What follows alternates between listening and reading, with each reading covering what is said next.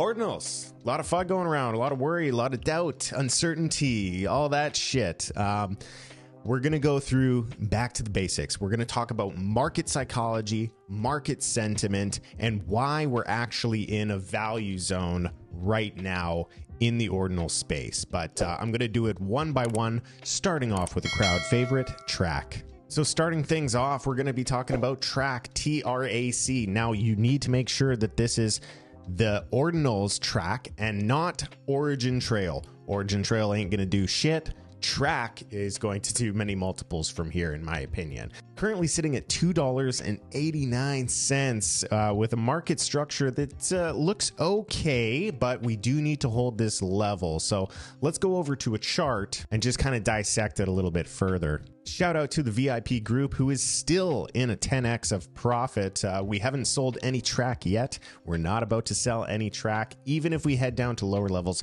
we're not ready to sell TRAC. Uh, we got a nice support here. Now, credit where credit is due. The Bears do look to be in control on TRAC. Partly could be the fact that there is a, a, transitional token. So there's going to be TRAC, the governance token, but then there's also going to be the tap token. So if you hold any TRAC tokens or if you hold any pipe tokens, you are going to be airdropped the new tap tokens. Those are coming out after the halving. So maybe there's, uh, you know, a lot of uncertainty as to which token is going to be the best one. So as a result, uh, this one is losing some steam, losing some demand. But to me, it's a it's a no brainer. This is a really important infrastructure play. This is going to be uh, contributing to making ordinal theory decentralized. So I think it's a very important project.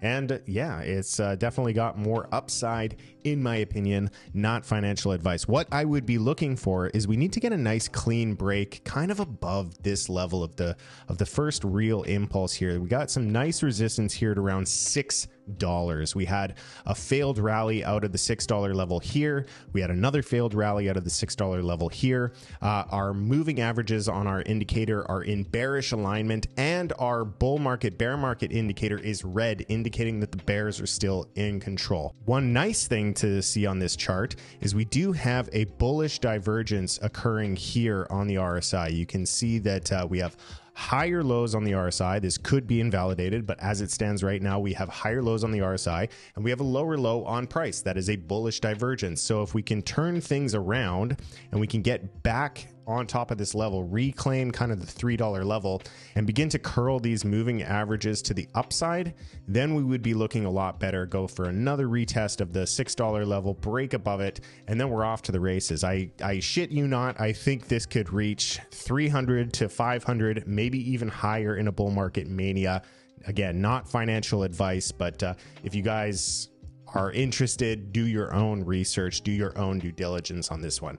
The next one I want to talk about is sats. So, sats is kind of a meme token. You may be familiar with the term sats in the context of uh, Bitcoin's smallest denomination. There are 100 million sats in every Bitcoin. It's kind of like there are 100 pennies to every dollar. Um, but yeah, this is a, a, good project. I think it has good memeability, which is always good on the fundamentals side of things. Obviously, we've seen a very meme coin driven market thus far. So obviously, there's a lot of degenerate gamblers out there. And uh, I think Sats could be a nice play. Let's go ahead and take a look at the technical chart.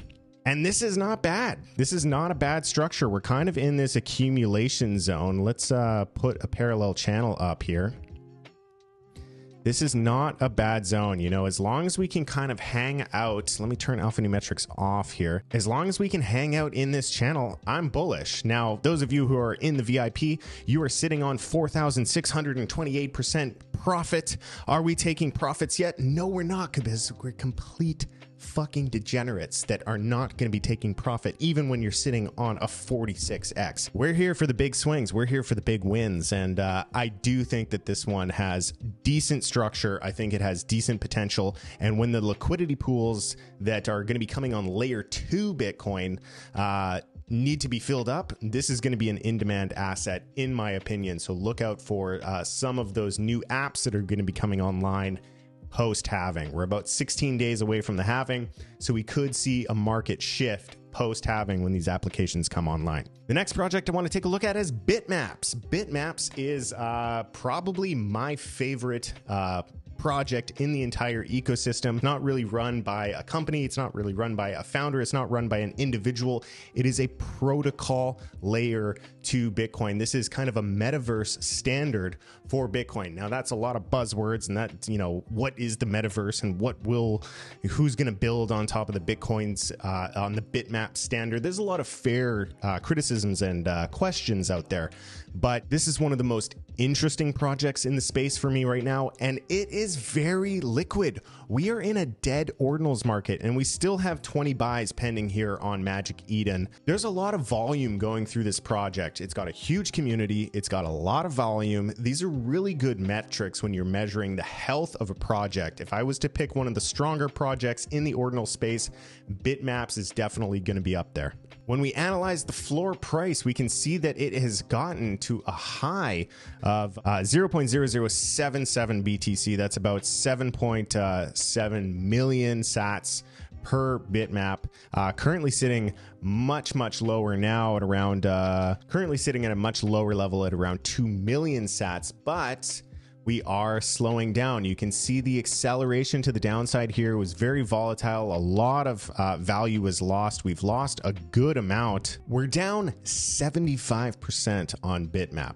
Now, 70% retracements on these really new projects in the context of a bull market. You see this kind of stuff.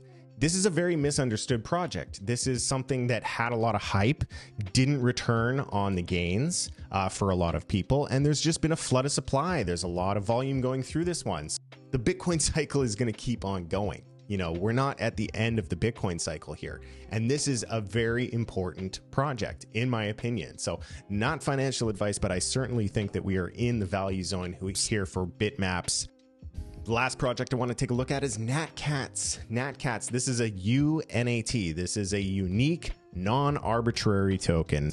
Um, but why this project is interesting is the block data, the Bitcoin block data is what gives these cats their attributes. So, it, you know, it's completely non arbitrary. It is the Bitcoin blockchain that decides who gets a pearl necklace, who gets a headband, who smokes a cigarette, who gets an earring. And you can't predict it. So you can't game the system. You can't anticipate what the next cat is going to be. Uh, you can't front run like a valuable cat because you don't know when the next valuable cat is going to be.